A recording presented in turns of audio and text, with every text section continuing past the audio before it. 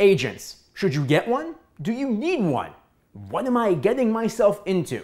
This is one of my favorite videos to make because it's about a topic that isn't talked about a lot and it will save you both time and money.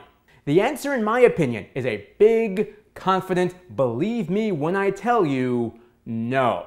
With that, there are a few reasons to get one, and we will definitely talk about those. But there are far more reasons not to, which is what a bulk of this video is about. And as we move forward, just know to make the decision that's right for you. And to help you make your decision, we are going to be breaking down a contract pitched to me by an agent who wanted to represent me. I did not end up signing. And we're going to break down most of these paragraphs together. To start, let's talk about why I didn't sign. The biggest reason is that I felt that there is no person on earth more motivated to find me a job than me. Most agents don't take reporters who don't do a good job. They only sign people that they know they can place in jobs. So just by virtue of the fact that an agent is interested in signing you should be enough encouragement to not sign with them because they've essentially just told you that you're marketable. And all of the agents who wanted to represent me came to me. Are there reporters that go out in search of agents? Yes, there are. So it can go either way. But again, going back to the job search, no one's going to work harder than you are, so why not just do it all on your own for free? because that's what I did.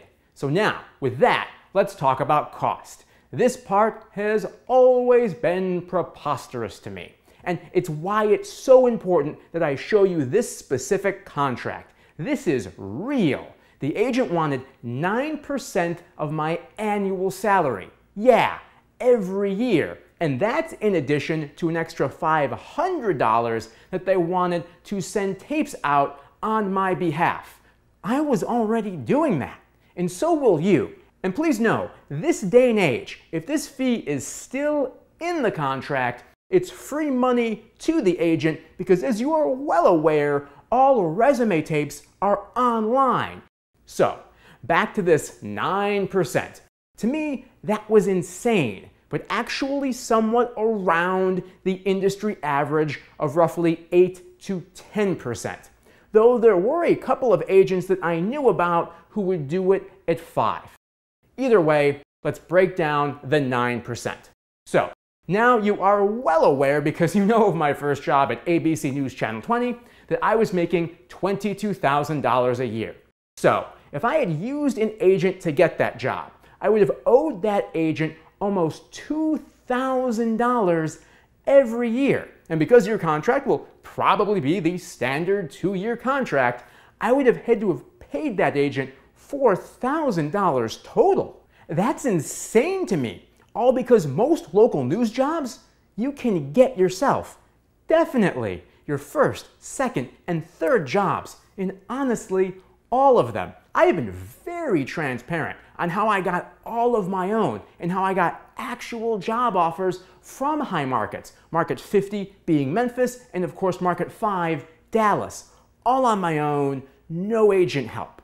And also, too, in talking about help, the tape I made myself, I never got any help from an agent on that. In fact, some of the agents I was talking to, they probably would not have supported it being that different. They would have called it too cute or too out of the box or whatever because their clients who they were placing, they weren't placing that way.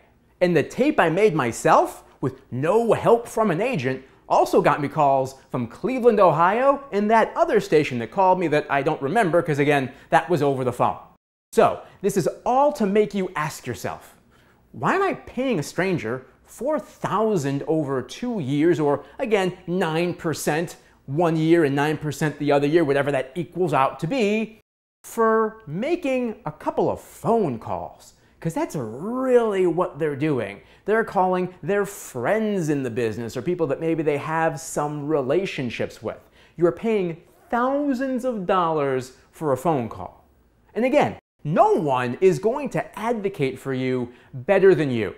The only advantage sometimes to having an agent is if they know the news director maybe you get looked at before they look at somebody else. But honestly, and here's the truth about that news directors look at a lot of tapes. They may not like a lot of tapes, but they look at them. And here's what I mean I've been asked to sit in while news directors are watching tapes, and I've been asked for a lot of input at various levels of the hiring process. Here's what's never happened I've never sat down with a news director and them say to me, Man, Andrew, I wish on the last hire that I had watched just one more tape because that person would have been so much better than the person before who I settled on. They watch everything. Maybe not for long. Again, not for long. They may not like you, but they're gonna see you. And I'm proof of that. I've never gotten hidden or buried in the stack of resume tapes. The trick is to keep their attention once they start watching. But even with that, if you've been slowly getting to know a handful of news directors at the stations you want to work for a year or two in advance, or you know someone who works there, they'll tell the news director to take a look at you, and again, they're gonna do it for free, not $2,000 a year for walking across the hall and going into their boss's office. So, I've personally never understood why agents at the local news level are worth the money. And also, too, it just didn't fit my personality either. I was always very active in looking for jobs, networking at conferences, and of course, award shows. You know me by now. Like, I was motivated. I was out there working it. And with all of that, having an agent can get worse. Much worse. Look at the terms section, meaning how long your relationship is with the agent. Here's the framework this contract sets up. The contract says that if you hire the agent, both you and the agent have two years to find you a job. Yes, both you and the agent have two years to find you a job. If you're still unemployed after two years of searching, then the relationship ends. And of course it does. If neither one of you can find a job in 24 months, it makes no sense for the agent to attach themselves to you. There's no way that that outcome actually happens because no agent's going to sign you if they don't think they can place you. So this whole thing that there is some magical out after two years, it doesn't exist. It's false security. And even to pull that lever, you had to have gone unemployed, which is nuts. But even with that, this part I just explained, that's actually the good part because it gets worse. Should you find employment, meaning you on your own, you've hired the agent, they're out searching over here, but you go out and you search over here and find something really good and broker it on your own and do all of it while they were over here doing whatever, they still get their 9%. And they get their 9% for every year that you're there up to five years and that five years resets itself with every station you go to. So now, you're probably asking, Andrew, reporting contracts are usually two years long. So why are we talking about five year intervals? Well, because the agent is trying to lock in as much future money right now as possible. And they do it like this. Their stance is, well, we found you that one job. And let's take, for example, Dallas. So I go in, I broker Dallas, boom, new station, new job, great. They want 9% a year beyond my first contract if they can broker that now. So I go and I sign my two year contract with Dallas. Pay them 9% year one, 9% year two. Now let's say I want to stay in Dallas. And maybe I get a little bit of a pay raise. It's not going to be a huge monumental jump, but let's say I get a little bit of a raise. Well, now in my new two year contract, adding on a year three and a year four, I still owe them nine and nine. And should I stay somehow for a fifth year, if that is ever brokered, I owe them nine more on top of that. So, for the job, they never got me, never having done any work, and there only being one negotiation at the beginning, they all of a sudden get 9% of a $62,000 contract that's almost or roughly about 6,000 a year for having done nothing. And let's say that they did something, it was making a phone call. And we will get very specific with these numbers a little later in this video. This is to illustrate to you that they are the overall winner, not you. Now, some agents would say, but Andrew, I'll negotiate the second two year contract and get you, the reporter, more money. And yeah, technically, they're right. They can go and negotiate, but again, that's one that you can probably handle yourself. It's going to be a 5,000 or $10,000 bump. It's not going to be some big monumental leap that you make when you go from market to market. Now, if you're changing a job title from reporter to anchor reporter, or, well, I should say it like this from a one person band to a reporter, or a reporter to anchor reporter, or anchor reporter to anchor, the raises get larger as you obviously move up in title in that same market. But either way, you don't need an agent to broker that you're going to know people in the market. You're going to be able to know what you should be asking for. An agent at that point, once you're settled in your market in terms of gathering information, is going to be useless to you. And here's the next thing, and this is my favorite part. When I found this out, I was on fire. This next point is why I make this video for you, and that is that news directors aren't intimidated by agents. There is no negotiation. It's all a myth. And in fact, later in this video, I am going to explain to you in detail how the news director controls the agent. Quickly here, let's touch on anchoring. And as we've talked about before, those are at least three-year contracts. And I've walked you through that five-year cycle. But here's where the math gets weird. And for the sake of the agent, so you're in contract one. Your first three year contract is the anchor reporter. And you decide, this is a cool gig. I like the market, I like the pay, I like the work. I would like a second three year contract. And the station agrees to that as well, and you sign this second three year contract. You now owe that agent not only for the fifth year, but also for the sixth year because there is a clause in this contract that says whichever is greater, five years or two contracts. And two three year contracts make that sixth year. Yeah, these documents read like math word problems. Now, if you got confused by that last anchor example, that's actually okay, because I want you to know that these documents are written to be confusing. It is not you. They're meant to hide information in plain sight. And also, please know that if you don't understand something, ask. And if the answer the person gives you still doesn't make any sense, walk away.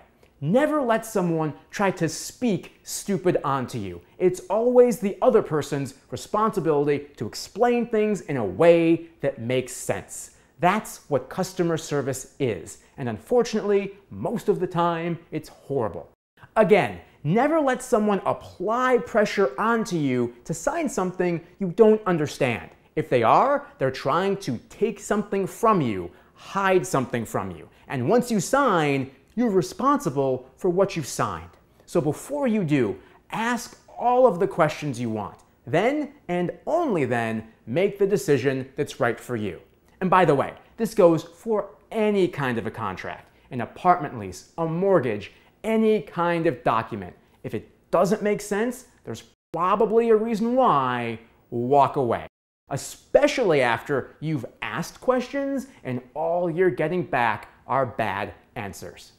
Another reason why I'm showing you this contract is also to show you just how hard it is to fire an agent. And we'll dive deeper later into that. I just want you to know right now in the video that that is hard as well. So now let's review some of these numbers. Here is what I could have owed my agent if I had been in a contract with them.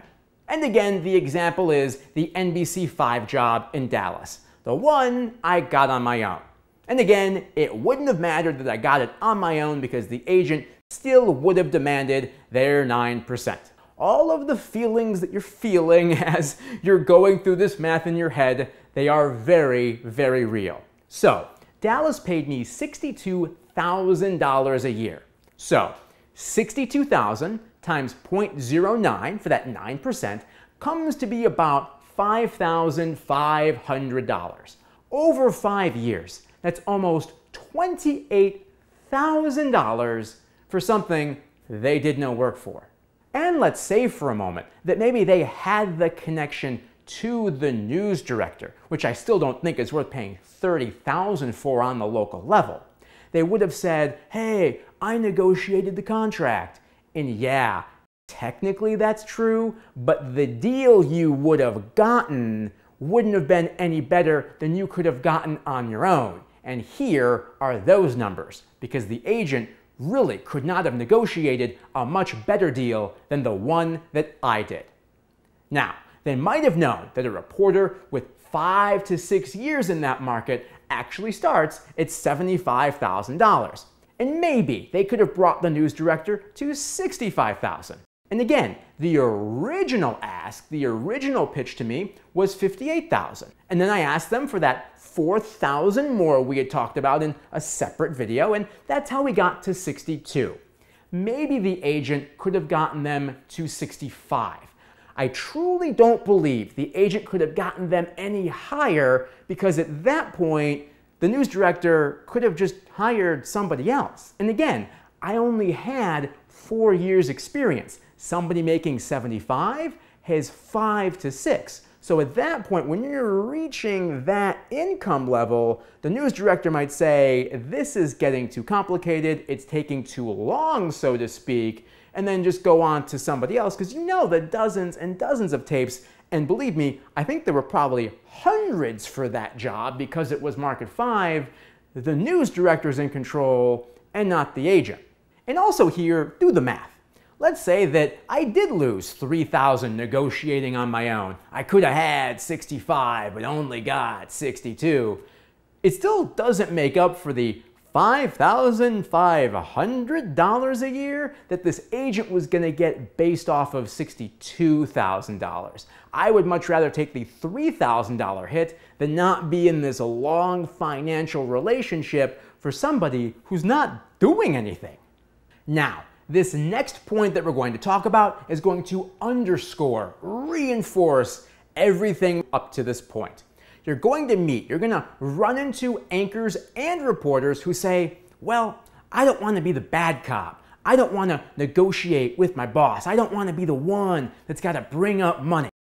Here's the thing they should learn how to negotiate. In this setting, it's easy. And the reason why they don't want to do that is they have this mindset to where they think that they want the boss to always think of them in a nice way because they see negotiation as combative.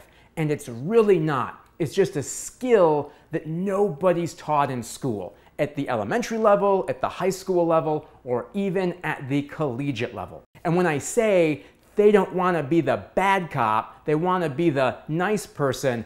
That is a direct quote from an anchor friend of mine. And again, a dear friend, a talented person.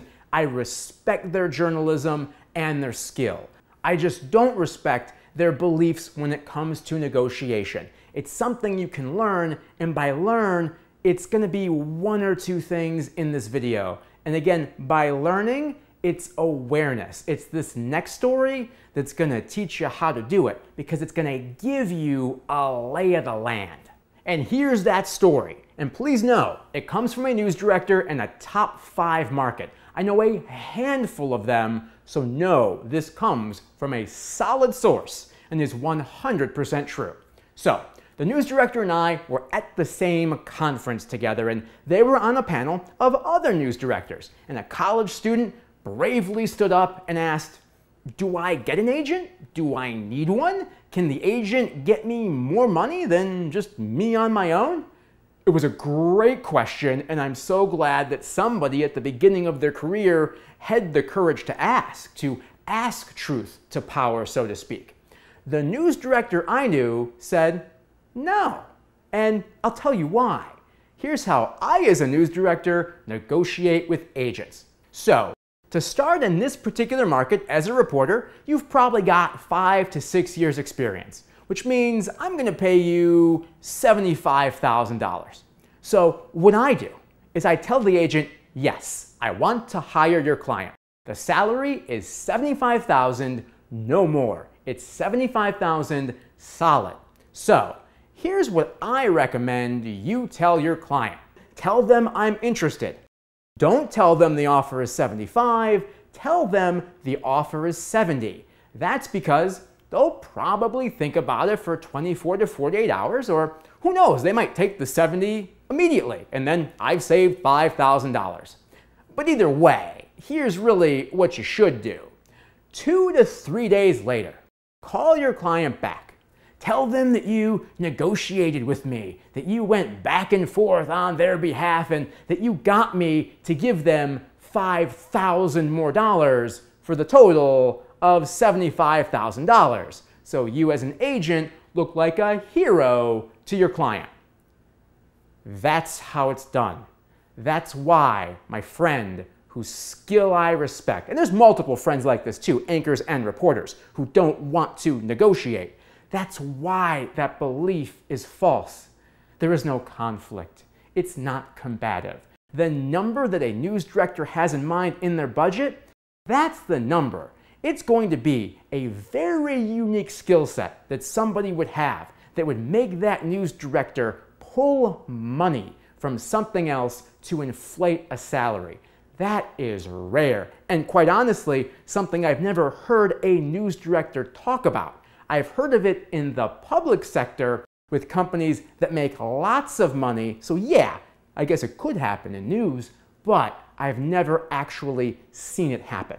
And the term negotiate in a business setting is a completely different skill set. When I heard that, when I heard that story, my belief that you don't need an agent became so much stronger because not only did I have my story of success, somebody who I respected and knew and runs a major market just said, hey, here's the behind the scenes that you wouldn't know about. And what she had told me, I had never been told before by a news manager. That is how tight this advice is.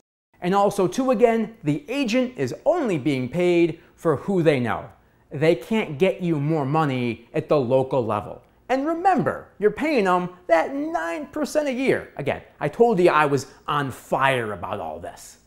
All they can possibly do is get you in front of a news director, and believe me when I tell you, you can do that by yourself. You don't need an agent at the local level. The only thing you need is someone in your network to give you an idea of what the salaries are in that market and just arrange. Is it 45 to 50,000, 50,000 to 55, or is it 70 to 75? And of course, this is always based on job title. Anchors will always be paid more than reporters, and reporters are typically usually paid more than one person bands. Now that you know this, you can take it from here. So let's talk about going network because this is completely different. So, you're at a point in your career where you want to start applying to be at the national network. This is where you may very well want an agent. This is a different game. My friends who report at network level hired agents to specifically find those jobs and negotiate. And these jobs are competitive. Therefore, you're going to want an agent. You want someone fighting for you. But even before that, you need that person because they're the one with the relationships with the hiring executives. And they also know what those people want so they can coach you on how to do the kinds of stories in the kinds of ways that those executives want. It's going to be hard for you to get an executive's attention on your own. I have no idea how to do it, and the people who have been successful at getting to network, again, have hired agents for it. The agent will also have a really good idea if the salary being offered to you is a lowball offer or a solid offer. The agent also knows the skills the network is looking for. Again, network is a whole different game. And I'm told by my friends at Network that they specifically hired agents who had this experience and then specifically tasked them to find network jobs. And they both say it's worth it. So, with that, one more thing I want to point out, and that is while we're talking about networks, is that there are two tiers of networks, so to speak. There are the big network news operations, known as the Big Four, and you know what those are ABC, NBC, CBS, and Fox. What you may not know is that each of those networks has a second tier that feeds into that. So, to use a baseball analogy, it could be considered the farm league. But please know, great work is done at this level daily, and that work can easily make it into a network newscast. And again, each network has their own tier, and they are ABC NewsOne, NBC News Channel, CBS NewsPath, and Fox News Edge. At the time of this recording, two people I worked with in Dallas work at them. Mola Lenghi works at CBS NewsPath, as does Omar Villafranca. At any moment, they can be flown anywhere in the country or around the world. They do national stories that air on national news. In addition to the network live shots they do, they may also do some additional live shots for local stations as well. Back when I produced the Fox newscasts and the ABC newscasts in Springfield, I would sometimes take reports from reporters then doing what Mola and Omar are doing now. And navigating that opportunity, that transition, is something you'll probably want an agent for. And again, if you're looking at that level, make sure that the agent you are looking at is currently representing people at that level of job. And as you begin this journey, and this one is a big journey and one that continues, it by far is, as they say in politics, the show that never ends. If you have any questions, please feel free to reach out. I'll see you in the next video.